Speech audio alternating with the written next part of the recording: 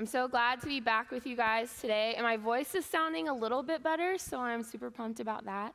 Um, I've had a great week with you guys, and um, I've enjoyed getting to speak in, in your chapels and getting to meet some of you, and honestly, getting to see random people that I've known from past seasons. Nathan Finn was my seminary professor, and Webb Drake was my college professor. He taught me speech. So I guess they'll send me my final grade later. So I'm waiting to see how I did. But um, like I said, I'm excited to be back with you guys because we have to finish the story, right? So all week, as I've been with you guys, we we started in Genesis, right? Um, we started in Genesis, and go. You can go ahead and go to the first slide, or I guess it would be the second slide because today we're going to talk about the mandate and the story's end. But obviously, we have to rewind a little bit and remember where we've been, okay? So on Monday morning, we started in Genesis with the understanding that when God created um, people, He created them with a purpose. And He said, Be fruitful and multiply and. Guys, come on. Be fruitful and multiply and that's right. And so that was part of the purpose from the beginning. And if you remember, he was literally saying it to image bearers, to people that imaged him. And so this idea of like fill the earth with God's image has been present since the beginning. Well, we know that the enemy came into the garden and he manipulated them and he tricked them into putting, honestly, their own image on the throne instead of God's image. And through that, they became broken image bearers. They became broken image bearers. And God sent them out of the garden. he released them from having access to the tree of life because if they had eaten from the tree of life, at that point, what would have happened?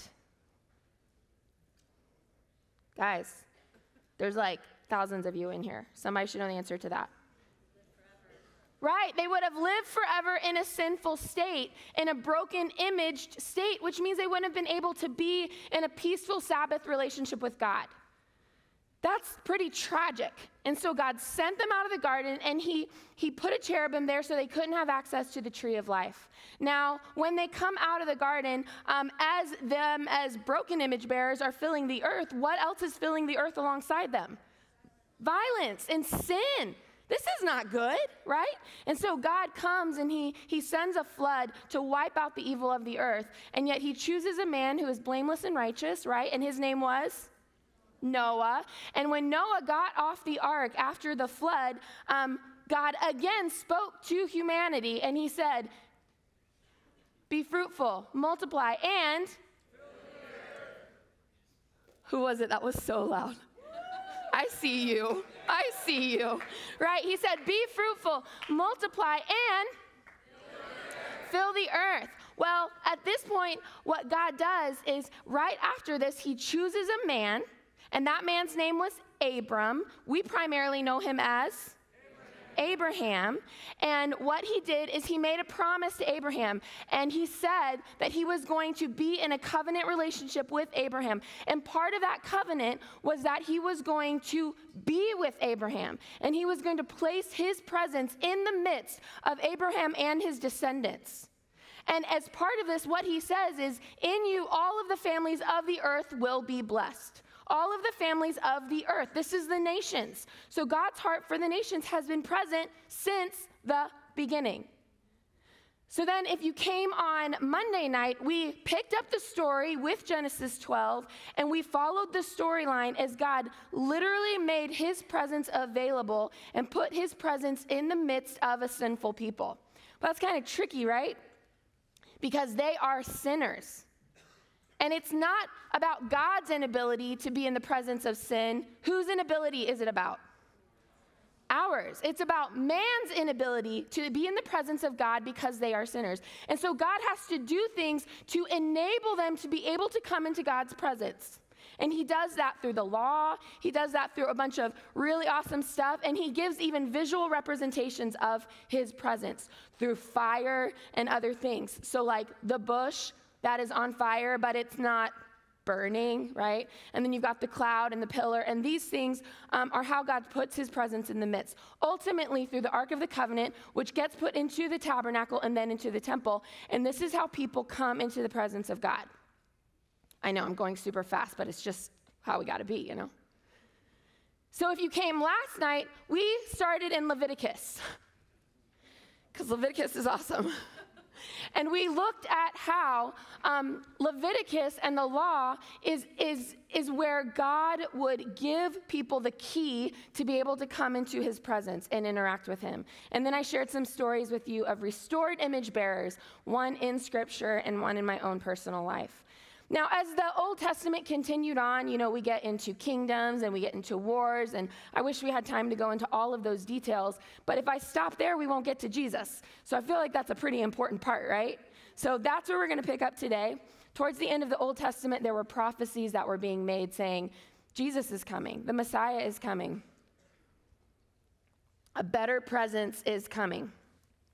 And this was a promise not just for the people of Israel, but it was a promise for the nations. And that's seen again all through the Old Testament, because even when God was putting his presence in the midst of the people of Israel, did the nations get to be a part of that?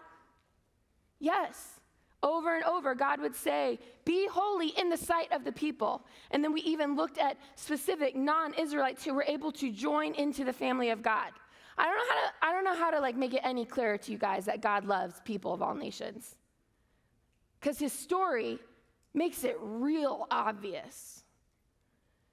So then, Jesus is born. Jesus is born. And, you know, I, um, I was talking to Crystalline uh, on Monday, and because um, I was honestly kind of feeling a little guilty because we're going to go through Jesus' story super quick. And, um, and she was like, No, they hear a lot about Jesus. So I want you to understand that when I go through his story really quick, it's not because I don't think he's important. He is the climax of the story. But I think you guys hear a lot about the climax of the story, and I want to make sure we finish the story today, okay? So, what I'm going to do is point a few things out. Number one, did you know that God made an announcement that Jesus was born to the nations? Did you guys know that? When Jesus was born, what, what did he do to tell people he was there? Do you guys remember? There was a star and there was also the shepherds, right? So the angels came to the shepherds. Now, the shepherds were the people of Israel. So that was for the Israelites. Who was the star for? It was for the nations. Did you know that as part of the law, the people of Israel weren't really supposed to pay close attention to the stars? They weren't really supposed to map the stars. So, why would God send a star as an announcement? Because he wasn't just sending Jesus for the Jews, he was sending Jesus for the nations. And so the wise men from afar, from other nations, they see the star and they come. So let's, let's just point out a few things about Jesus. Well, Jesus is the image of God, okay? Colossians 1 15 through 20 says, He is the image of the invisible God, the firstborn of all creation. For in him all the fullness of God was pleased to dwell. Now let's think about this the fullness of God. Did God dwell in the Old Testament? Yes, that was like the plot of the Old Testament, God dwelling with his people.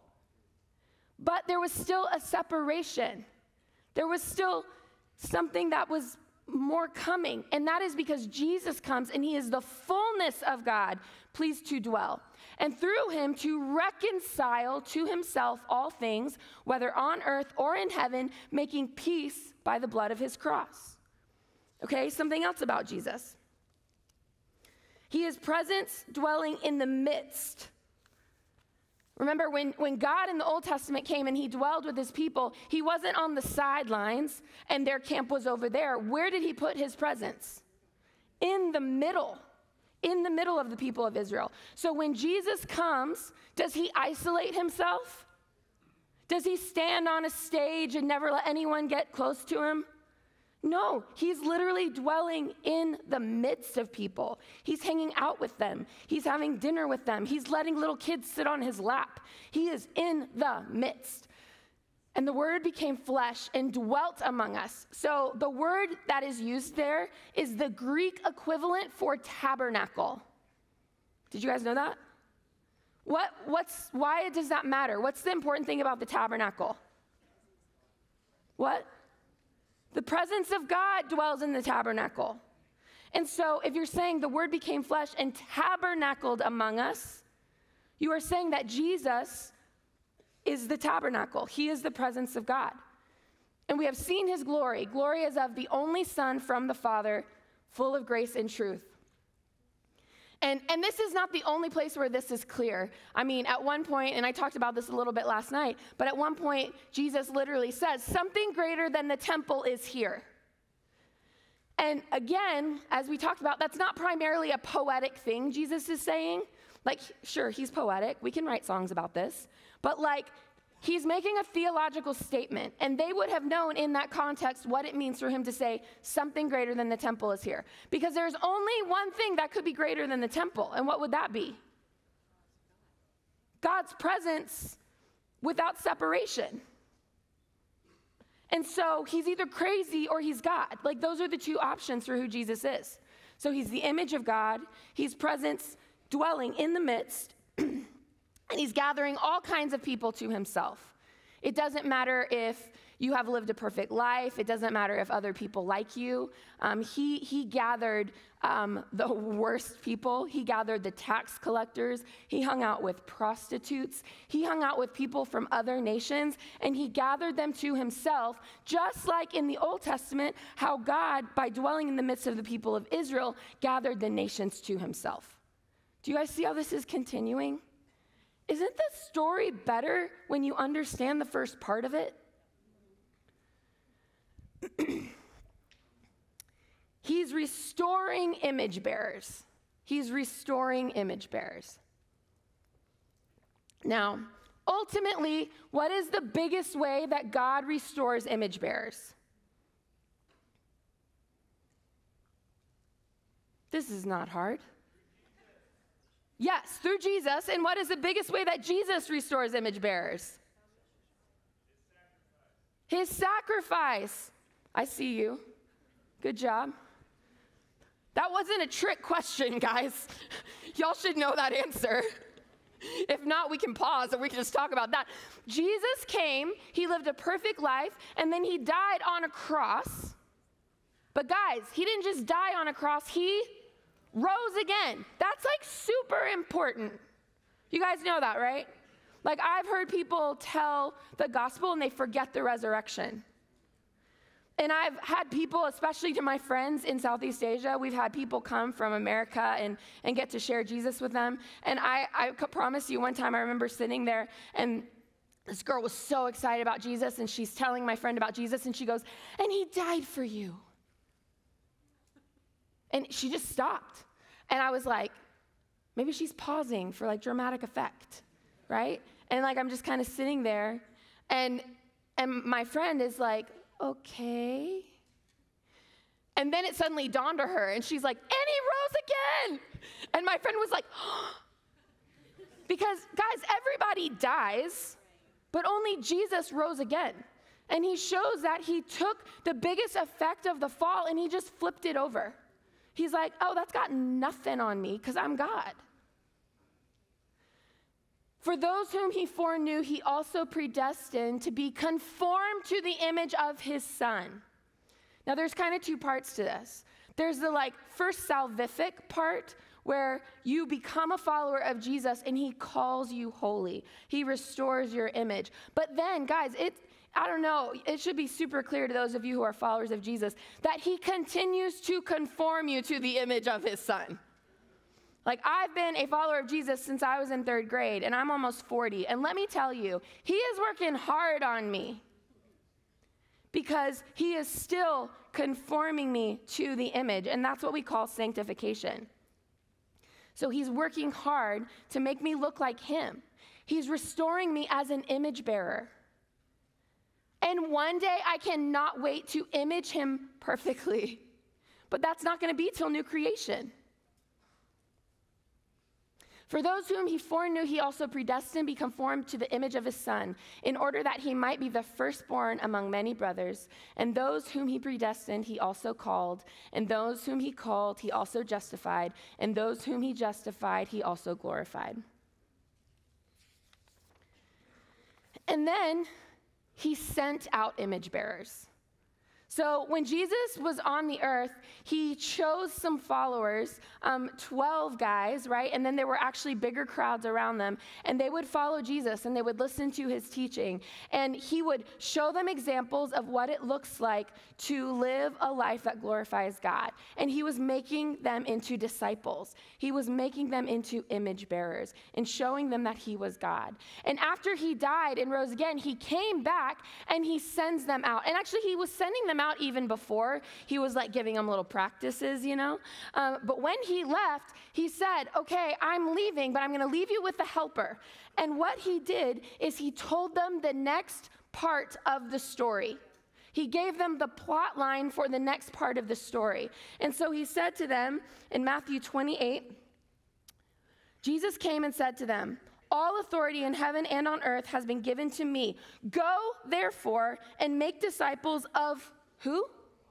All nations. Go therefore and make disciples of all nations. What, guys, isn't that just another way to say fill the earth? Fill the earth with God's image. Go therefore and make disciples of all nations, baptizing them in the name of the Father and of the Son and of the Holy Spirit, teaching them to observe all that I have commanded you. And behold, I am with you always to the end of the age. And I love what Jesus does because he's like, Go make disciples, but then he defines what that means. Okay, go make disciples, baptizing them in the name of the Father and of the Son and of the Holy Spirit. So that's salvific. You've got to align yourself with Christ first to become a disciple. And then he says, teaching them to observe all that I have commanded you. So that's kind of the discipleship process that many of us are familiar with. I want to know what this book says about God and about how I should live my life. And then he says, And behold, I am with you always to the end of the age. Wait a second. You mean the story is still about his presence? Yeah. Because God sends them out with a purpose, but he says, You're not going by yourself. I'm going to give you a helper. And so once again, we I just sit in like acknowledgement that the mandate at the very beginning of the story of the Bible to be fruitful and multiply and fill the earth is now being given in a different type of way. You can go to the next screen where Jesus says, "Make disciples of all nations." It's so important that you guys see this thread and you see this purpose because the next part of the story, if you were to structure the Bible into like acts of a play, the next part of the story is actually the part that we are present in. And so let's, let's look at that part of the story. Acts, everybody turn to Acts if you have your Bibles. So in Acts, it says, In the first book, O Theophilus, I have dealt with all that Jesus began to do. What does it mean when Jesus begins to do something? Begins, wow. Begins to do something. It means it's not done, right? Is it not done because he couldn't finish it and he got tired? No, it's not done because he's inviting you to be a part of his story. He's inviting you to be a part of his story. And Acts 1 8 says, You will receive power when the Holy Spirit has come upon you, and you will be my witnesses in Jerusalem and in all Judea and Samaria and to the ends of the earth. So here he's talking to his apostles, okay? And if you were going to summarize this part of the story and the plot line, this verse is kind of the summary. So the first part where it says, You will receive power when the Holy Spirit has come upon you, that happens in Acts 2. And then you continue on. It says, You will be my witnesses in Jerusalem and in all Judea. Well, sorry, first just in Jerusalem. That happens in Acts 3 through 5. And then you get into all Judea and Samaria. That's Acts 6 through 9. And then to the ends of the earth is started in Acts 10 through 20. So if to the ends of the earth is started, where do you guys think we fit? We fit in the to the ends of the earth part of the story. That's where we fit.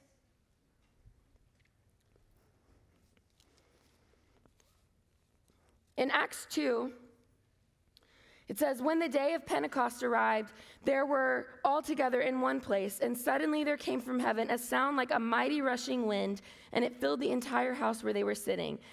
And divided tongues as of fire. Where have we seen fire before? Burning bush. Where else? Pillar of fire. Where else? Did you know when the tabernacle was built and dedicated, fire came down from heaven and filled the tabernacle with the glory of God? Did you know that when the temple was built, fire came down and filled the temple with the glory of God? So, what do you think it means now when these men are sitting around in this upper room and tongues of fire come down and rest on their heads? What do you think that means? The presence of God is there, and it is now filling his temples. We now, if you are a follower of Jesus, you can have the presence of God dwelling inside of you. That's why you're called the temple. That's why you're like a tabernacle, which is really cool to think about. So, divided tongues as a fire appeared to them and rested on each one of them, and they were all filled with the Holy Spirit and began to speak in other tongues as the Spirit gave them utterance. Now, there were dwelling in Jerusalem Jews, devout men from every nation under heaven. And at this sound, the multitude came together and they were bewildered because each one was hearing them speak in his own language. And they were amazed and astonished, saying, Are not all these who are speaking Galileans? And how is it that we hear each of us in his own native language? And then it literally lists out all these different nations.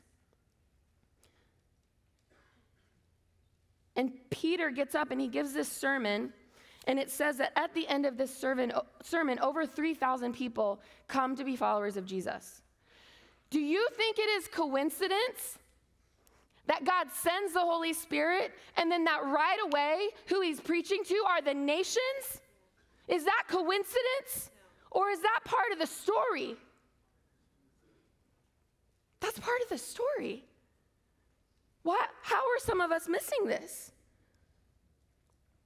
And then, right after this, after they become followers of Jesus, if you look at the end of Acts 2, in chapter, I mean, in verse 42, it talks about how at that point, all those people who have become followers of Jesus, they devoted themselves to teaching and to fellowship and to the breaking of bread. Um, and, and they're doing all of these wonders and signs as they invite other people to join their community. So, this group of people, these new followers of Jesus, they are gathered to the presence of God, they are gathered to teaching, and they are gathered to each other to become disciples and bear God's image. And, guys, part of bearing God's image is de- desiring for others to know Him. If you are a disciple, but you're not making disciples, you're not really a disciple. And if you're a disciple but you don't have a heart for the nations, you're not really a disciple. And that can be expressed in many ways, but do not miss this. Do not waste the story that God wants to write in your life. And so, if we were to look at that structure again on the next slide, I want you to see this.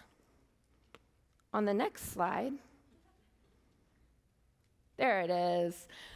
So, when you're looking at that summarized plot line, when the Holy Spirit has come upon you, and then let's put in there at the end of Acts 2 the fellowship of believers and becoming disciples. So there's a process here, okay? And guys, the reason I want to point this out is because many of you are in that red boxed part of your walk with Jesus. You are here in a place where you have followers of Jesus investing in you, teaching you, discipling you. You're becoming disciples. God is bearing your image. I mean, not your image. You are bearing God's image. Let's rewind that. Pretend I never said it, okay? Um, you are bearing God's image. But guys, don't get stuck only in fellowship with each other. Don't get stuck in fellowship with each other because you should be inviting others into the fellowship. Because when you look at the story, again, I'm going to put that storyline graphic on the screen for you. when you look at the storyline, I want you to look at the movement of what is happening here in the plot line. Do you remember at the beginning of the week, um, I talked about stories a little bit, and I said every story has a major character, right? And the major character of this story is God. Everybody else is a minor character. That includes you. That includes you. One time I was reading a book that a cinematography uh, student gave me. It was about story, and it was a professor writing to his students, and it was how to write a good screenplay and how to write a good story. And he wasn't talking about the Bible, but it blew me away because he made this statement in there to these students. He said, Every subplot you write should point to the larger plot line. Every subplot you write should live out the larger plot line, and every minor character you write should point to the major character. And he made this really dramatic statement. He's like, if your subplot doesn't point to the big plot, take it out. It's not important. Now, again, he wasn't writing about the Bible, okay? But I was reading that and I was so convicted because I'm like, do I think of my life like this? Do I constantly ask the question, how does my subplot live out the main plot line of God's plot in Scripture? Do I know how it does that? Do I wake up daily knowing that I am a minor character and never meant to be the hero? Do I understand where I fall in the storyline? We are in the storyline where Jesus has said, Make disciples of all nations, fill the earth. That's where we are. So you are in this story of God filling the earth. What role are you playing? So I want to I want to give you three considerations.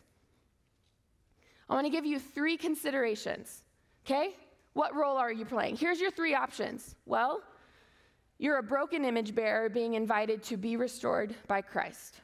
So I'm not going to assume that everyone in here is a follower of Jesus. And so, for a minute, I want to speak to those of you who are not yet followers of Jesus. You know deep inside of you that something is wrong with your image bearing. You're young, you probably have a lot of life to live. Don't waste your time trying to restore your own image, it won't work. Don't try and be the hero of your story, it won't work. God is giving you an invitation to be restored through his son, through Jesus. And if I'm speaking to you, I promise you there are people in this room that would love to talk to you. If you are one of those people that would love to talk to anyone, raise your hand. Look around if it's you. There are people, some of them are staff, faculty, some of them are students. Just talk to someone about it. The second option you have is you've accepted that Christ restores your image salvifically and are being invited by God to bear his image in your life. And this is what I mean by that. I think there are a lot of, of people who have accepted Jesus as the God of their salvation, but they have not yet let him be the Lord of their life. Those should come hand in hand, but they don't always for people. And if that's you, there are people in this room who would love to disciple you, who would love to be accountable with you. Some of them are your peers who are like, hey, I'm figuring it out too. And God is doing kind things in my broken image bearing. But if you are the person that you have thought, man, I've got it, it's a one and done, my salvation is good, you're actually missing out on a lot by not letting Him be the Lord of your life as well. So, if you are someone in this room that would be willing to talk to someone about this, raise your hand. If this is you, look around. And then the third option you are seeking to bear God's image, and God is inviting you to fill the earth by making disciples of all nations. Those are your three options. This is how you are in this story. Now, let me say something. When Jesus said, Go and make disciples of all nations, he wasn't standing in America. He wasn't looking out at every other nation. I know that. Jesus, where is he from? Heaven. Jesus is from heaven. He was born in Israel, that's right. Y'all are good there. Um, so when, when Jesus is talking about all the nations, he's including America, okay?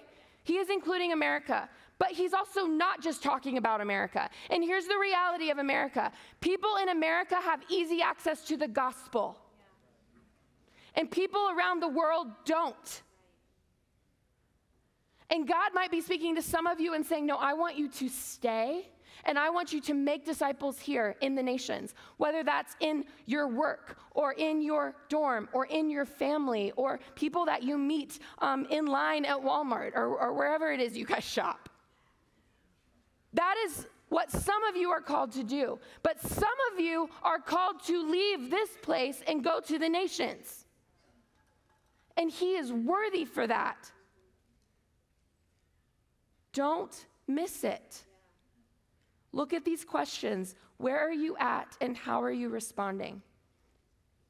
Because the storyline is continuing, it's not done.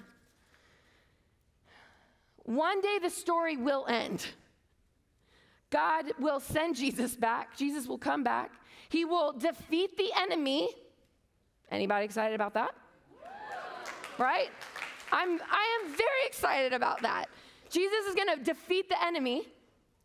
And then people who know Jesus and have acknowledged him as their Savior are going to be invited into an eternity. And it is very clear from the way the story ends that the nations are a part of this. So let's look at Revelation 7 9. After this I looked, and behold, a great multitude that no one could number from every nation. From all tribes and peoples and languages. You can go to the next screen. Standing before the throne and before the Lamb, clothed in white robes and palm branches in their hands, and crying out with a loud voice Salvation belongs to our God who sits on the throne and to the Lamb. Standing before the throne. Some of you, after my story last night, you asked if, um, if how my friend is doing, how Elle is doing. I haven't talked to her in many, many years we don't have access to each other because when I was serving overseas, social media wasn't really a thing. So we don't really have access to each other. But when I read this passage, I just think about the fact that one day I'm going to get to have a reunion with my friend in front of the throne. And if you're a follower of Jesus, you will be there too. But this is what I would say to you Who are you bringing with you? Don't come alone. Who are you bringing with you?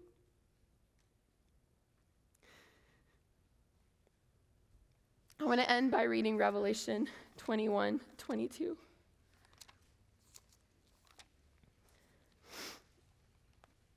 This is the end of the story. Then I saw a new heaven and a new earth, for the first heaven and the first earth had passed away, and the sea was no more. And I saw the holy city, New Jerusalem. Why is it holy? God's presence, coming down out of heaven from God, prepared as a bride adorned for her husband. And I heard a loud voice from the throne saying, Behold, the dwelling place of God is with man. He will dwell with them, and they will be his people, and God himself will be with them as their God. By the way, that's the same wording that God told the Israelites before they left Egypt. He will wipe away every tear from their eyes, and death shall be no more. Neither shall there be mourning, nor crying, nor pain any more, for the former things have passed away. And he who was seated on the throne said, Behold, I am making all things new. Also he said, Write this down, for these words are trustworthy and true. And he said to me, It is done. I am the Alpha and the Omega, the beginning and the end. Guys, that's like the most summarized meta narrative story right there. I am the Alpha and the Omega, the beginning and the end. To the thirsty, I will give from the spring of the water of life without payment. Why is there no payment? Jesus paid it. The one who conquers will have this heritage, and I will be his God, and he will be my son. But as for the cowardly, the faithless, the detestable, as for murderers, the sexually immoral, sorcerers, idolaters, and all liars, their portion will be in the lake that burns with fire and sulfur, which is the second death. Sometimes we don't like to read this part of the passage because it seems negative, but let's shift our perspective a little bit. Look at God's kindness. One day, when we are in new creation, sin will not be allowed in. Hurt will not be allowed in. Broken things will not be allowed in. And I saw no temple in the city. I'm skipping down to 22. For its temple is the Lord God the Almighty and the Lamb, and the city has no need of sun for, or moon to shine on it, for the glory of God gives it light, and its lamp is the Lamb. By its light will the nations walk, and the kings of the earth will bring their glory into it, and its gates will never be shut by day, and there will be no night there. They will bring into it the glory and the honor of the nations. But nothing unclean will ever enter it, nor anyone who does what is detestable or false, but only those who are written in the Lamb's book of life. Then the angel showed me the river of the water of life, bright as crystal, flowing from the throne of God and of the Lamb, through the middle of the street of the city also, on either side of the river, the tree of life. In other words, we have access to the tree of life again. Because in new creation, as restored image bearers, if we eat from the tree of life, and we live forever, what does that mean? Forever, we're in a Sabbath, peaceful relationship with God, with its 12 kinds of fruit, yielding its fruit each month. The leaves of the tree were for the healing of the nations. No longer will there be anything accursed, but the throne of God and of the Lamb will be in it, and his servants will worship him. They will see his face. In the Old Testament, there was a curtain in the middle of God's presence and the people. Because as broken image bearers, if they were to come into the presence of God, it would have been dangerous for them. But in new creation, as restored image bearers, we will see his face, and his name will be on our foreheads. And night will be no more. They will need no light of lamp or sun, for the Lord God will be their light, and they will reign forever and ever. So let's put that last slide up. And I'm going to ask you guys one question and then I'm going to pray and Alan will come up. But here's my question In this story, how are you a part of God filling the earth? It is a simple question. And it's the plot line God is weaving in his story. Dear Jesus, just thank you for your story. And I thank you that you have a heart for all peoples because I am not an Israelite. And so you had a heart for me to know you, and you have a heart for the people in this room to know you. But you also have a heart for people outside of this room and outside of this country to know you. God, I pray that one day when we are all together again in front of your throne, I pray that we bring the nations with us. In Jesus' name, amen. And would you join me in thanking Chesed? What a great job. Thank you so much. One quick thing, I know you're leaving. I'm just, the invitation was clear. I'm not going to extend that. Please, if God's spoken to you, would you come see us in the Institute for Global Leadership? Craft Hemp Hill? let us help you flesh out this invitation that you've heard. Have a great rest of the day.